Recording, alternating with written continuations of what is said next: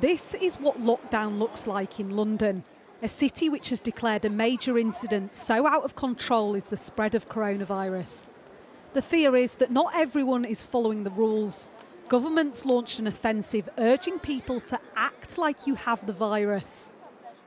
If it is essential to go out, remember wash your hands, cover your face indoors, and keep your distance from others.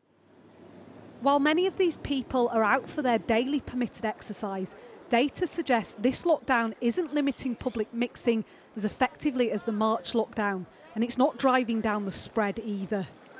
Looking at how the park is today, I think people are tired of being isolated and just, you know, like just confined in those four walls. I think a lot of people think it's much less of an issue than it actually is.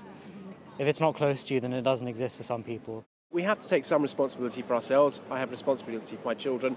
They're actually very low risk. I'm a little higher risk, um, but I'm, life is about an element of risk.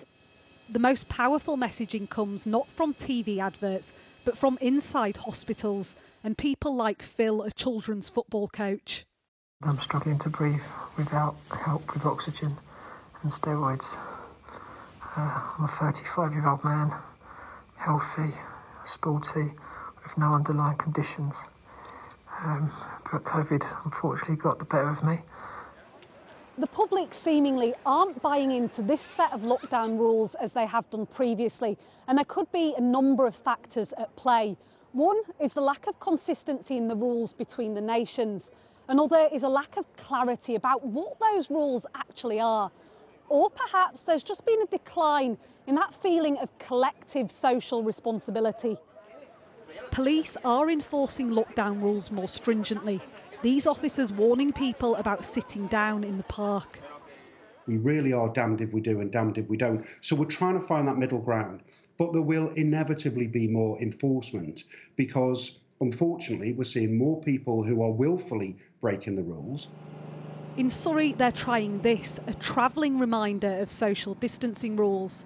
They worry people from London are driving to beauty spots for exercise and bringing the virus with them.